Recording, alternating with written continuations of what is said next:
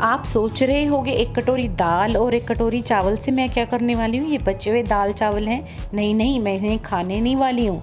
मैं इनसे कुछ लंच प्रिपेयर करने वाली हूँ। आप अगर जानना चाहते हैं तो मेरी वीडियो को लास्ट तक देखें। तो चलिए, तैयार करते हैं हम।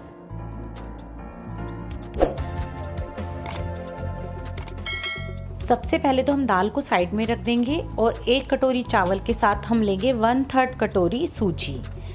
और हम सूजी को मिक्सी में डालकर इसको महीन पीस लेंगे। आप कोई सी भी सूजी ले सकते हैं, मोटी या पतली, क्योंकि हमें इसे पीसना है। ये देखिए, मैंने इसे पीस लिया है। इसके अंदर ही हम चावल डाल देंगे और इसे भी पीस लेंगे। और ये देखिए, ये पीस कर एक पेस्ट सा तैयार हो गया है। अब हम इसमें डालेंगे आधी कटोरी दही और आधी कटोरी पानी। और इसे भी हम अच्छे से पीस लेंगे और एक पेस्ट तैयार कर लेंगे। ये देखिए, मैंने एक पेस्ट तैयार कर लिया, इसमें आधी कटोरी पानी और डाला मैंने और एक महीन सा पेस्ट तैयार कर लिया। अब हम एक कढ़ाई लेंगे, उसमें डालेंगे हम तेल थोड़ी सी राई, प्याज और इसे हम भून लेंगे। आपके पास कड़ी पत्ता हो तो आप कड़ी पत्ता भी इस पर ज़रूर डालें, मेरे पास ख़त्म था तो मैंने नहीं डाला। प्याज हमारे हल्के से गोल्डन हो गए हैं, अब इसके अंदर मैंने डाल दिया टमाटर और नमक। नमक डालने से टमाटर जल्दी गल जाते हैं।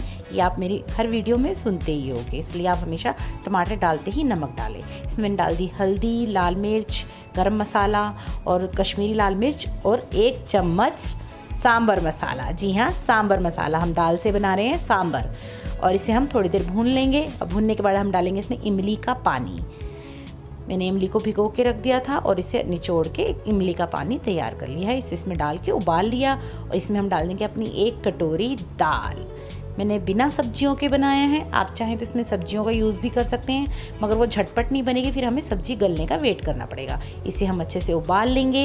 ये देखिए, ये उबल गया और हमारा टेस्टी सा सांभर रेडी हो गया। ये बहुत ही टेस्टी लगता है, आप ज़रूर ट्राई कीजिएगा। सांबर को देख के आप समझ ही गए होंगे कि मैं बचे हुए चावल के बैटर से क्या बनाने वाली हूँ। जी हाँ मैं बनाने वाली हूँ डोसा।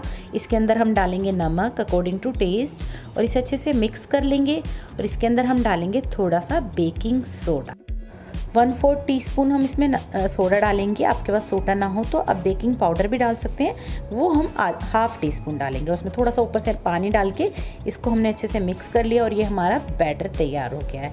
अब तो चलिए हम बनाते हैं डोसे। डोसा बनाने के लिए मैंने एक नॉन स्टिक पैन लिया है।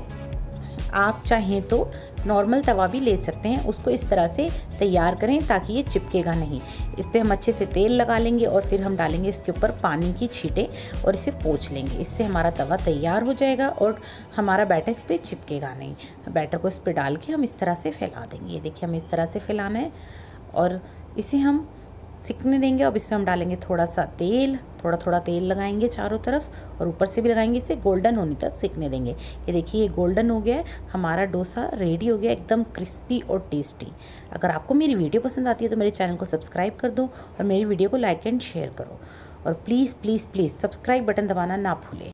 आपको बचे दाल और चावल की ये रेसिपी कैसी लगी, मुझे कमेंट करके ज़रूर बताएँ। मैं आपके कमेंट का वेट करूँगी।